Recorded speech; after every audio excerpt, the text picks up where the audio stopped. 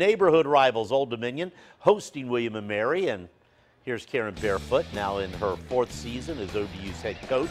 First half highlights the Monarchs wearing white. Tiffany Miner from the corner buries the three. She had 13.7 rebounds and three assists. Old Dominion led by two points at that time. Jasmine Boone would lead the tribe though with 18 points. There she is with a three of her own.